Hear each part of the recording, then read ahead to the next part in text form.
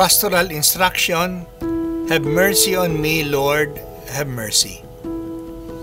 My dear people of God in the Archdiocese of Manila, during this time we had limited access to the celebrations of the sacraments.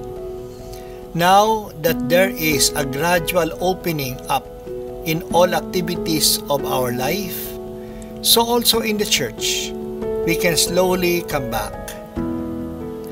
One of the sacraments that we had limited access to in the pandemic is the sacrament of reconciliation, or commonly known as the sacrament of confession. We missed the kumpisala ng bayan of Lent, so also the opportunity to confess during the Easter season. Because of the continuing threat of the coronavirus, there are still people who are hesitant to come to church, much more to come to confession.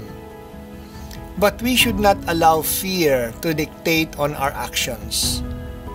We always have to take necessary precautions, but there are important matters of our life that we have to attend to, even with the presence of COVID 19, and confession is one of them. In extraordinary circumstances, we can receive the grace of forgiveness, even of grave sins, by making sincere acts of sorrow or perfect contrition.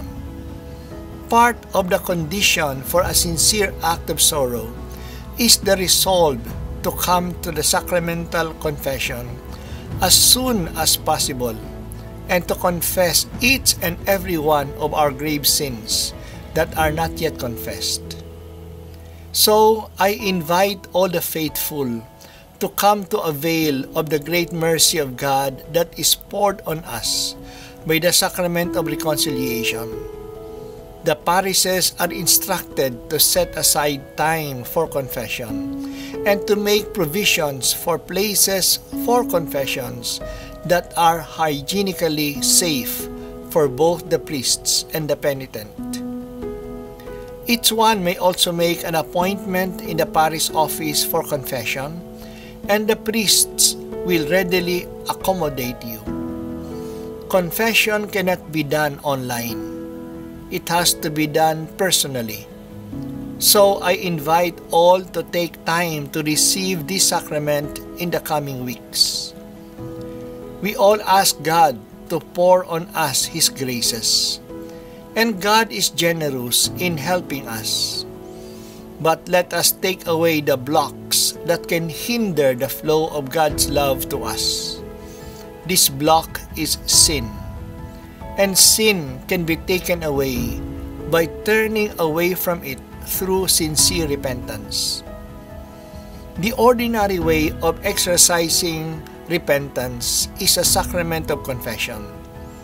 Let us go to confession that the grace of God's love and its assistance may rush into our lives and our families.